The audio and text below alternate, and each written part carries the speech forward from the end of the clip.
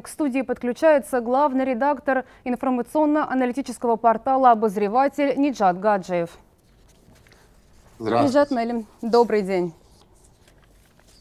Права, безопасность населения армянского происхождения, проживающего в регионе, будут обеспечены в соответствии с Конституцией Азербайджана, как я уже отметила. Но вот Армения демонстрирует все еще, что не отказалась от территориальных претензий к Азербайджану. Вот как вы считаете, как можно интерпретировать такое поведение официального Еревана?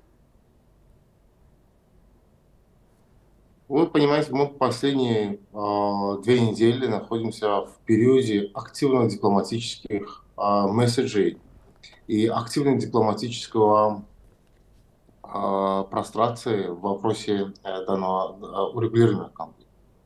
То есть э, мы видим, как в регион посещают разные дипломаты, к примеру, спецпредставитель России э, по Южному Кавказу Ир Хахаев, посетил Ереван и Баку. Мы видим частые телефонные разговоры э, армянской стороны с представителями Франции и США. Мы видим, как азербайджанские дипломаты разговаривают с представителями США.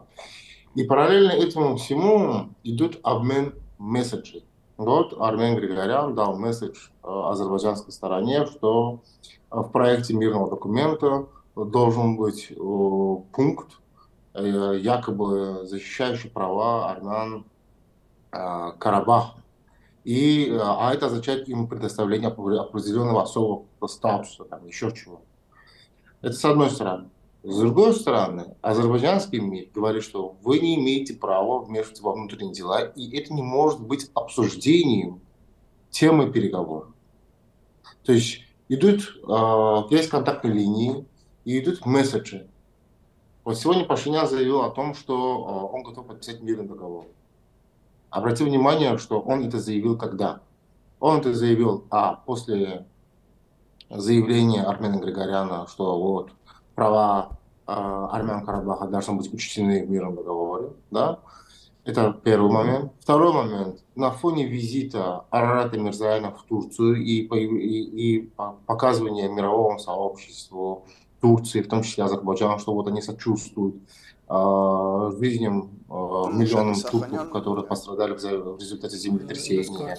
Они готовы открыть границы, подписать мирное соглашение, даже признать где-то территориальную с Азербайджаном и так далее а, но при этом всем они пытаются каким-то образом вот вклинить вот в свое вот этот э, свой яд, вот этот э, сладкий чай. Или, если сказать правильнее, добавить э, ложку дегтя в мед. Да?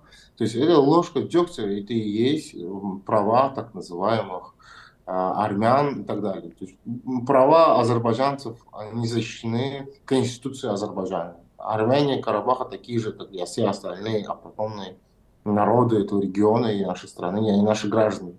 Это вопрос касается нашей юрисдикции, не Армении, не России, не США и так далее. Другой момент, что да, если Азербайджан на расовый, там, национальный, по, по расовой национальной политике будет кого-то дискриминировать. Вот тогда вот вопрос на уровне Совета Безопасности УОМ поднимается. Но вот этого же вопроса нет.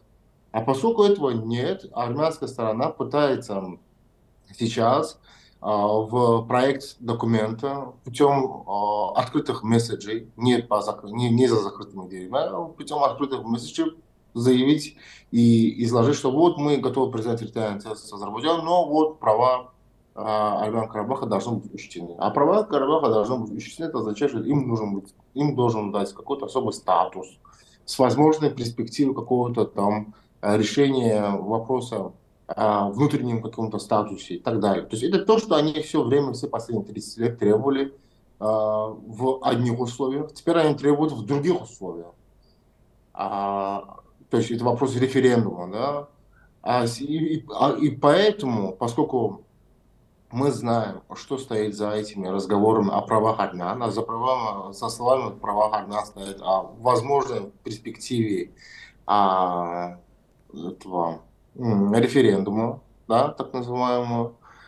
Это все они пытаются реинкарнировать э, мадридские принципы, на самом деле. Да? То есть они не пошли на наши соглашения на мадридские принципы. Теперь уже после войны пытаются они возобновить эти мадридские принципы. Обратим внимание то, что Пашинян сегодня на заседании говорил, что вот он отправил проект документа мирного соглашения. Кому? Азербайджанской стороне и странам-членам Минской группы. А это означает, что они еще пользуются старыми формулировками, допустим, как Минская группа. Ну, даже Игорь Хахаев, представитель России, он не представитель Минской группы. Параллельно там где-то, возможно, там где-то кто-то пишет. Но ни в США, ни во Франции, ни в России, нигде о Минской группе ни слова не говорится. Он пытается возобновить Минскую группу, а Минская группа ему нужна для того, чтобы возразить опять мадридский принцип. А мадридским принципам пришел конец э, в ноябре 2020 года. Все, но нет мадридских принципов, нет старых формулировок, нет этих всех нарративов, которые были. Теперь эти же нарративы, они пытаются каким-то образом в мирный документ, а под другим соусом а, как-то вставить, но у них не получается и не получится, скорее всего. И вот заметим один момент. Сегодня вот это то, важный нюанс заявления Пашиняна, это то, что он говорит, что а, проект мирного договора не должен привести к конфликту. Это говорит абсурд, но это может и к этому привести. И в этом смысле тут не согласиться с ним невозможно. Почему? А потому что армянская сторона в проект мирного договора пытается а, протиснуть э, свои нарративы о так называемых армян, прав армян Карабаха. Права армян Карабаха регулируются Конституцией Азербайджана. Они будут защищены.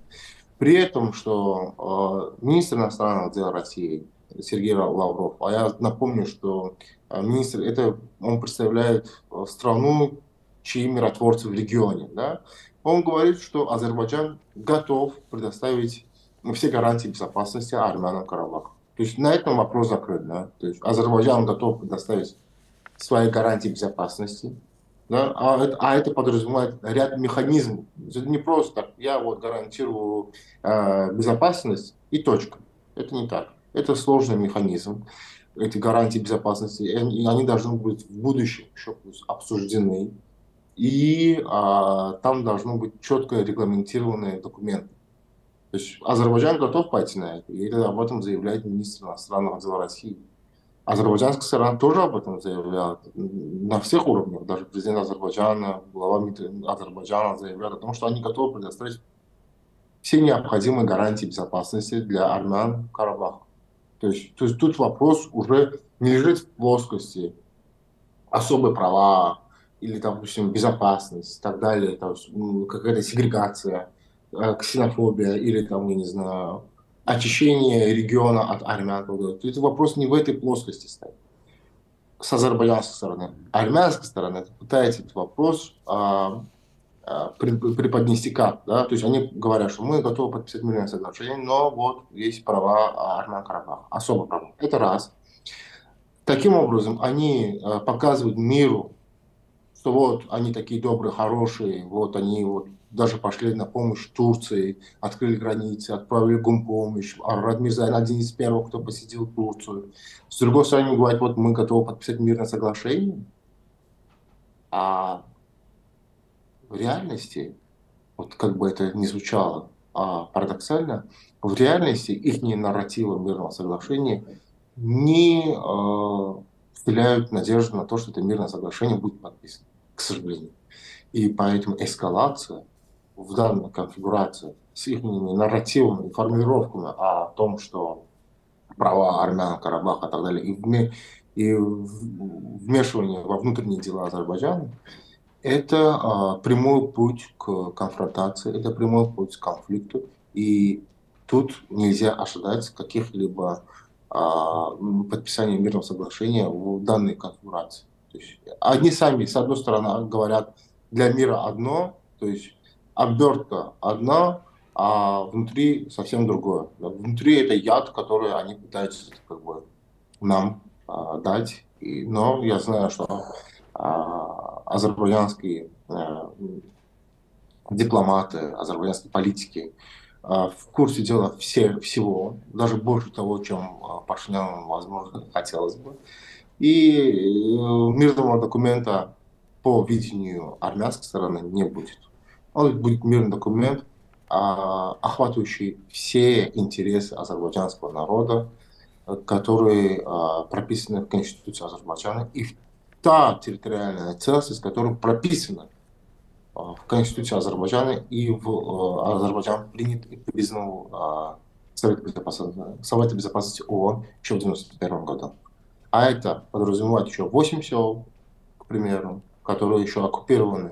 То есть этот вопрос насколько по моей информации, да, то есть есть разные контактные группы, по моей информации армянская сторона даже отказывается вести разговор по поводу этих 8 сел, к Как они признают нашу территориальную целостность? Вот ставится вопрос. Тут уже мирно, мирный договор уже провалился. Ничат Мелем, большое вам спасибо, что ответили на, наш, на наши вопросы. Как заявил президент, то, что 2023 год – это последний шанс для Армении. Времени у них мало.